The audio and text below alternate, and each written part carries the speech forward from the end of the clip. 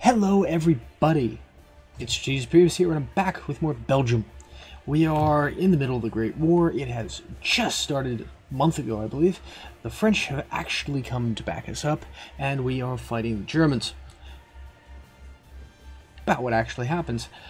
Lucky us, however, we are holding fairly well at the moment, and may actually be able to offend, uh, go on the offensive into Cologne. Uh, if the French would care to join us anytime soon, uh, this would be more or less doable. The problem is, is the French army is still mucking around and not actually uh, attacking yet, even though we have numerical superiority. Thanks, France. You're doing a great job. Great ally. Good news from other fronts. Serbia is holding on to their territory fairly well. Montenegro is doing eh, about what Montenegro tends to do. Uh, that being said, the Russians are just getting their asses kicked. Come on, guys. Could, could we not? They're making Austria-Hungary look capable. It's terrible. In other fronts, there aren't really other fronts yet. I do not believe the Ottomans are anywhere near joining the war yet. They might not even they might not even join this war. Italy is doing the usual Italian thing of going, War? What war? Um to nobody else that I think of is actually at war. Uh, for previous episodes of the series, please click the link right here. Okay, now that they're gone, let's get into this. War is actually broken, and we are waiting for the French to actually come and save us. Let's see. What can we do? Quick little thing right there. I have a fleet coming back. Oh boy. Well, we actually want a, a naval engagement. That's good. That being said, bunch of sunken ships. Pretty good job. Way to go, Navy. Um, that we probably want to uh, pick up the Chief of Navy, but we can't because, as I recall, uh, not quite done being built yet. This is a very early, early in development cycle mod. We're not quite up to the point where uh, everything is built up yet. There's no Chief of the Navy. Uh, there's a couple of other minor problems, and frankly, we're working on it. Is generally what's happening here. Uh, that's not good. So, I'm going to call in uh, Baron Wahis, who's a close air special, uh, support specialist, um, to help out our planes when they finally roll out. They're coming. The aircraft is coming. We have 15 of them in the process of being deployed. Someday my prince will come. Uh, we're building more military factories, uh, researching goodness. We'll have rifle primacy in three days, which will help a lot, I'm sure. Um, two onto this. We need to start building more airplanes and more horse-drawn vehicles. Probably more support equipment. And looking at the war in general, our front is really quiet. Wars in the east are actually the war at the moment, strangely enough. And it's not good. The Russians have already pushed all the way back to Lodz. And it's on the way to Warsaw. This side of the Eastern Front is holding a little bit better with a couple of victories. Uh, the Greens, the Green regions, I should say, and a couple of defeats here. All in all, Russia's getting their ass kicked. Serbia is doing the strangely effective Serbian thing, and Montenegro is even pulling off better than Montenegro usually does. I'm impressed. Let's see if Belgium can turtle for as long. That being said, how are we in Africa? As I have my research done now, we are uh, advancing. Honestly, what I expected. Alright, let's get over here. What do I need now? I can go for mobile positioning for 273 days. That's a little long. What else can I get? Motorized, we don't really have the factories for it just yet. Working on it. I uh, don't really want to pick up heavy artillery. We simply don't have factories for these sorts of things, but this is what's in the mod uh, for those of you going, huh, I wonder. Um, it is a thing. see. I could go for some boats. I really want to go for some boats. So we don't exactly have the amount of research available that other nations have that we're fighting because duh we are much smaller um being said I am gonna go for the armor I gonna go for the armor car I don't really use armored cars all that much but there's not a whole lot better to do and this land doctrine will take forever actually no for this one I'll go for the land doctrine for the moment and next couple we'll get into on cars and minor things. Jean Jaurès of France was assassinated in the Parisian cafe. Le Croissant uh, 146 Rue Montmartre was an aptly named villain, a 29-year-old French nationalist. Uh, was scheduled to appear at one of the International's conferences to deliver a protest against the seemingly impending war. Uh, well, it actually happened. Uh, and with his death, the last major social obstacle to French involvement in the coming fight has passed. So that means that uh, France might actually be a little more helpful, you know? Although I'm 100% certain that they are actually involved in World War One at the moment, even though they're uh, not doing anything on the front. Thanks, guys. Real big help here. Could we, uh, oh, I don't know. Oh boy, now we're on the defensive. Lucky us. I'm going to call up some of these infantry divisions because, quite frankly, I need them. And I'm going to assign them to the front. Which brings us to 27 out of 4, which means I'm probably going to have to go put Field Marshal Albrecht first here, also known as uh, me, in control of all this. Um, the problem is I lose that engineer attack, but I'm gonna say it's worth it uh, for now at least, because I, I, I simply need more men um, on this front line, and I can't really readily make the divisions much larger. I actually probably could do that. Give me a moment. Now I'm thinking. Do, do, do.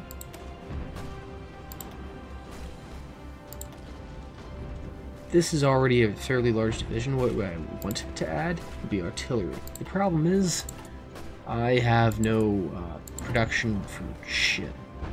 I need a lot more factories before I'm going to start rolling in more artillery in here. Alright, they're attacking Luxembourg. I do not want to lose Luxembourg. I fought hard to get Luxembourg. Well, didn't really fight. They sort of flopped over, but, you know, it took effort to make them do that. That being said, this upper offensive we're doing quite well with. We're going to hold uh, by Hengelo, uh, and I do not see them getting the Liège anytime soon. Fun fact, the German plan for the Schlieffen plan explicitly mentions you need to take Liège. Why? Because there's a rail station here that uh, is the best way to get to Paris quickly. Fun facts. Alright, we have gas masks. Lucky us. Ooh, another factory. Very lucky us. So, thing that I'm going to do first is I'm going to prioritize getting well, support battalions I actually like. Oh, we can upgrade them. Field hospital upgrade would be very nice. We are low on manpower. I know I said I was going to do something else first, but shush. More artillery because I need them so badly. Uh, we are doing alright in Luxembourg. That's not getting through anytime soon, and we are managing to defend the top pretty well. Meppen just doesn't make me happy. And the Brits are here to save us. With ships, at least. Always with ships. Never with, you know, landing men. What is all this? Why isn't it here? Come on. Panama Canal is opened. Fun facts. That means it is, uh, Morocco. Just fun facts taking another look at the Eastern Front because it's uh, a little more exciting than ours at the moment. The Central Powers have almost pushed to Warsaw. That's terrifying. Uh, the Russians appear to be taking losses in uh, East Prussia as well, and generally it seems like uh, the German military plan is not the Schlieffen plan at the moment because uh, we're not getting the shit kicked out of us, and the Russians actually are fighting a military out there Strange. Uh, that being said, poor Serbia is actually beginning to lose a couple of battles and run on the silly offensives because that's the AI for you. They like to try to think they can go on offensives they can't. The best moves for Serbia in this war is Turtle. Uh, we've actually managed to win a few battles in here. Uh, let's just take a quick look at losses. We lost 10,000 men. Jeez. I think we already lost 7,000 before we get started. This, this is not good. to say the least. How are we doing in Africa? Slowly advancing. Kind of want to take Dar es Salaam and then join the rest of the Entente powers on the general dealing with that guy. The other German bit over there. Um, kind of want to keep you two in Bangladesh just because I don't want to lose victory points. Because my unity is kind of crap. 75? Really? Really? anyway. Uh, if I sound slightly better in this recording, it's because I have a new mic. I'm now on a Blue Yeti, and what do you know, there's a world of difference. Shameless plug. Alright. Let's go get myself an engineering company that's slightly more efficient at being an engineering company, because I have a silly, silly, silly idea that we'll actually need to dig in in this war. I don't know what's telling me that. Foreshadowing. Well, we've fended off a number of fences here. Uh, Von Gallowitz is assaulting us, and Joseph Joffre is uh, the French commander in the region, appears to be commanding our forces as well. Sorry, commanding our side of the battle, uh, and our forces are sort of integrated with his, just cause, mostly. Makes sense. The French have a large army here. We have a, I mean, large for Belgium army, but we're Belgium. I'd love to pick up weapon. Not happening anytime soon. We might be able to hit this. Hmm. We'll see how these next couple of battles end. I might be a sneaky little bastard and try to smack into that because those divisions have already taken a decent amount of attrition. Ah, planes in reserve. My favorite feeling. Having planes. Okay, good. We have air cover. That will make me a little bit happier. Oh, shit. That's not good. Hmm. What, what are you guys doing? Get there. We need you to hold this line. God damn it, they finally took a piece. Which means Hengelo is going to take a lot of flack. This is not good. I'm going to join this French offensive because it's about all I can do. Yay, being Belgian. uh, take the pony too. Pony. Uh, pony was one to join. Lucky us. Uh, let's get over here. Uh, I just have a silly sensation that uh, we need to just make more of this and that and those. Actually, how much construction work do we? Yeah, we only have five more factories in the order. That's gonna make my life a little bit hellish. Right, I'm playing the World War One mod. We don't just have, you know, factories shitting everywhere. Because, you know, differences between the Hearts of Iron game and the Hearts of Iron mod. There's a general discrepancy when it comes to, oh yeah, and now factories. That being said, we've now reorganized, which basically means we just gained a free factory. Yay us.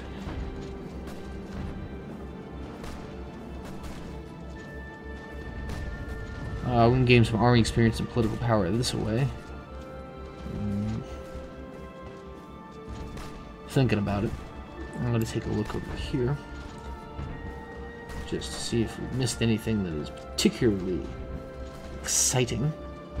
I think this infrastructure...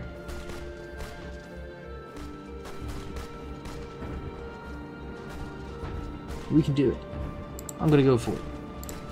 70 days because some infrastructure means we can start, you know, focusing on more factories again. Ah, shit. The Ottomans have joined. That's a bad sign for us. Well, not the worst sign. They aren't exactly the strongest state. They are the poor man of Europe. They have somewhere between 9 and 15 divisions, which makes me kind of cackle. Uh, we have no idea the strength of those divisions. However, uh, there's not exactly a lot of things in the area to deal with them.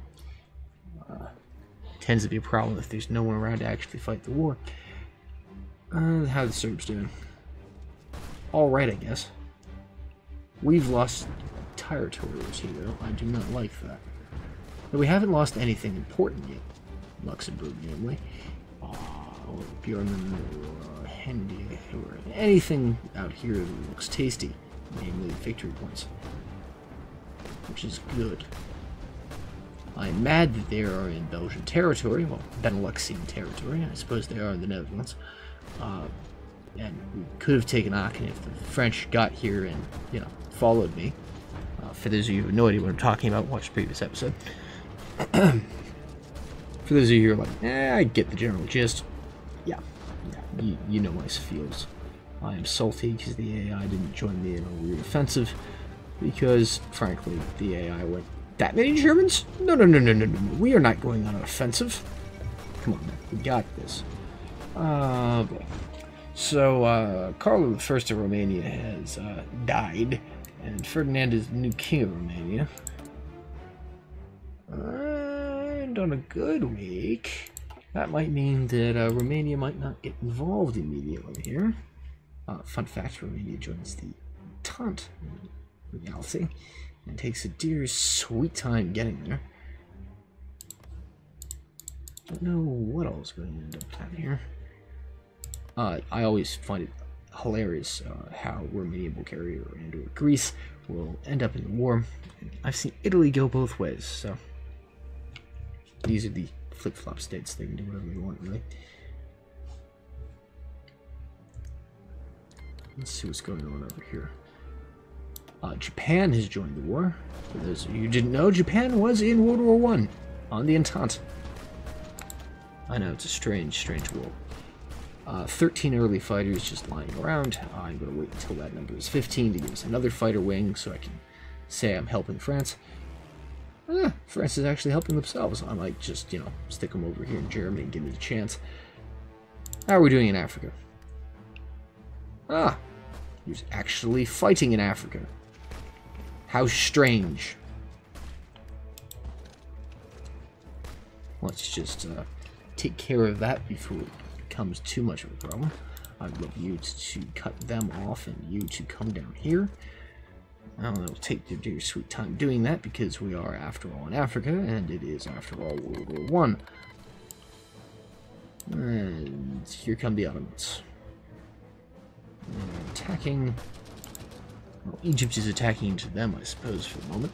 After all, Egypt is a puppet of the United Kingdom. Now, Good old King George V. Sorry.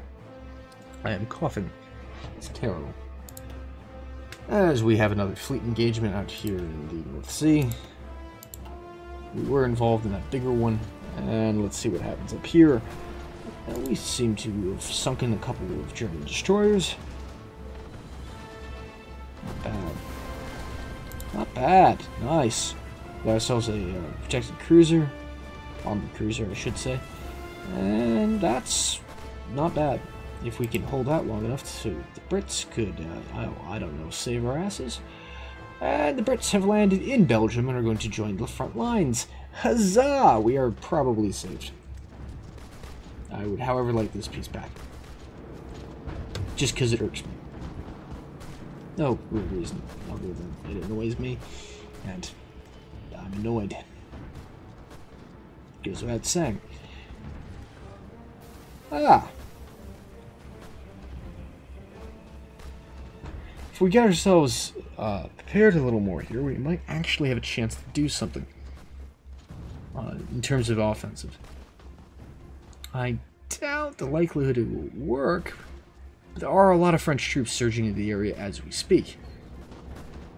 And the French seem to be doing a bang-up job at doing this sort of thing. Ah, the Japanese want to give us support equipment. I love that idea. Uh, some of our large ships have taken fire. That's not good. Alright, good. We've won the engagement with the Germans, sinking a large number of ships, losing none, and quite frankly, good job. Get them back to port to repair up. The uh, His Majesty's uh, Martin Habsburg von Trump, and the Jacob von Habsburg and Pietain, uh, Rainer Kressen, all doing very well for themselves, these pre-dreadnoughts. And our protected cruisers aren't doing too terrible. Yeah, it's pretty good. I, you know, usually the Brits take the majority of the German Navy out because, well, uh, the British Navy is a terrifying thing. And if you ever think while playing this game, oh yeah, I'll navally defeat the British while playing as Germany, that's where you're wrong. Uh, and in Alsace-Lorraine, it, it, it's just loss of life uh, with no real gains. Huh. Seems to be a theme, as up here there's German loss of life without real gains. We are successfully holding them off still. Let's see about air support. We still have air support where we are. Uh, Northern France does not yet. Good job, France. Huh. There seems to be another number of French and British fighters in our airports. I'm not mad, per se. I'm just surprised. That gives me 10. Uh, I could keep a nice even 15, but I'm, I'm going to go for 18 just because we have them lying around and there's no real difference in manpower at the moment. Uh, and I would love to stick down into Western Germany and be that asshole, uh, just to give us the kind of support if we were to pop into Bonn because um, that would be the plan right around now. And I'd absolutely love it. And we're holding up our defenses fairly well with what air support we have. Also, this a sizable amount considering the time period. Uh, Italy will send its horse carts, which for this war actually matters, but most wars it would be a question of why are you doing this. Alright, three factories still needing to be built to get to where I want us to be for the moment although I probably want us to be there for be technical about these things. Uh, we've taken damage to a naval base and a bunch of infrastructure, which will annoy me to no end. Uh, Flandern can certainly use another one. Give another one to Walnay. That should maybe do something. Uh, the German army seems to be doing a bang-up job on this front. Let's just take a quick peek into the Eastern Front. Oh, well, uh, the good news is, is uh, um, there, there is no good news. The Germans have Warsaw, the Austrians didn't quite get it. Bad news, Austria. Um, there seems to be some disagreements on border war out here between the Austrians and Germans, and uh, the Russian front is kind of collapsing. I've seen this a couple of times, but usually the Russians put up a, a, a more better fight than this. More better? Yeah, more better. Um, generally speaking, this this this is abnormal. Serbia holding on for this long is good. No, Serbia held on for an extremely long time in war, um, but it, most of that was due to Austrian incompetence and, well, good mountains. Uh, probably is the same thing that's holding them together right now, and Montenegro has received support from uh, I'm just going to say Anzac forces and Egyptian forces, surprisingly enough. Not bad. Speaking of, we're about to take Dar es Salaam. Well, we have taken Dar es Salaam, have we? The Brits took Dar es Salaam, those assholes. And we'll just uh, smash those guys. And get going on uh, the front with actual units on it. First things first, though, we need national focused. Focused? No, focus. Come on. Do uh, it's not 1915 yet, so we can't quite go for the next one down on that tree, no matter how much I want to.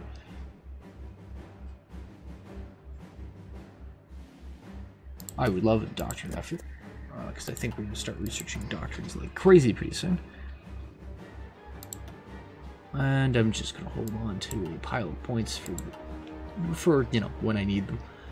Uh, probably mid to late war when we start running out of manpower, like we already are. I love being Dutch. Sorry, Belgian. I keep saying Dutch in this series, it's hilarious. It's because we are also Dutch. I mean, technically there are Dutch and Belgians here, and I suppose Luxembourgians? I guess? Luxembourgers? Luxembourgers. A lot of Frenchmen. Some Brits too. I mean, I would like the rest of you to uh, join them anytime now, you know. D do you need an invitation? Because you have one. Jeez. Well, good news is, is we are giving air support where it's needed, and we're doing pretty well at it. And we've managed to actually plunk down the thing ahead of time to go do that, just in case we were to, uh, I don't know, test the waters.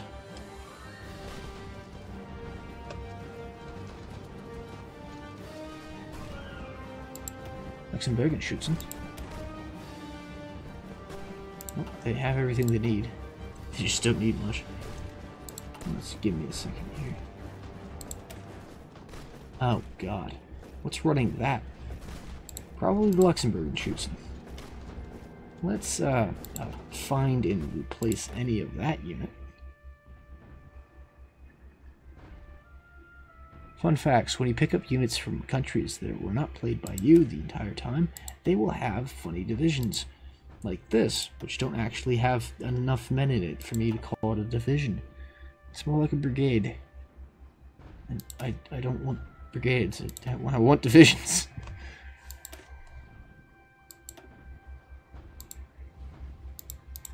Because, uh, sillily enough, I kind of want to actually have enough men on this front. Don't know why that is. Other than I want men on this front, because duh. Let's busily get working on making them all at least somewhat res resembling an actual infantry division. Thank you very much. That would explain a lot, like why we're outnumbered this badly. And this is going to eat some manpower, and it's going to eat uh, industrial demand as well but we either do this now or we lose this war, so that's my two cents in the matter. That'll take some dear sweet time actually getting supplied. I know we have enough rifles. Pretty sure we have enough rifles. Oh yeah, we have plenty of rifles. We've got 10,000 rifles. That's plenty. We do not have enough of anything else, but we, we certainly have enough rifles. So that actually gives me an idea for a minute here. Production, please. I don't know why I clicked every screen right there. Uh, we, we definitely need more of this. I would like to have more artillery as well, and horse-drawn vehicles are necessary to, you know, get more artillery. So QED, I want them too. Oh boy. So Diaz has fled to Spain. That's that part of the Mexican Revolution done with. The opposition forces have taken over. As such, we have Francisco El Morado, El Morado of Pan. Over the eastern front, oh jeez, the Russians have been pushed clear out of Poland you know, into Galicia and things. Um, oh boy, you're already starting to run on Odessa, which is generally a bad sign for anyone hoping to hold on to Russia against all odds. That's just generally not a good sign. I'm going to get going on the idea of starting the mustard gas now, just because it's useful. For obvious reasons. And that will be it for the moment. Taking a look at the time, we have spent ourselves a good around 30-ish minutes. I'm going to call that an episode. We've made it through the first several months of the war. We've only lost a tiny little slither of what is the United Benelux, and we've generally fared better than at least one member of the Entente. Looking at you, Russia. Why? Why? What is this? They're probably dealing with yeah, yeah significantly more German and Austrian divisions than you usually see on this front. Oh, yeah, there's a lot more. Um, And the Serbs are decently holding on, even though they're doing dumb offensives, as is Montenegro. I believe next time might see our first real attempt at offensive that will not, you know, crumble immediately now that we actually have enough rifles for everyone and enough everyone on the field. Maybe. So yes, I will see you all in the next episode. Thank you for watching. If you enjoyed this content, please like and or subscribe as you feel free to do so. Thanks guys. See you then.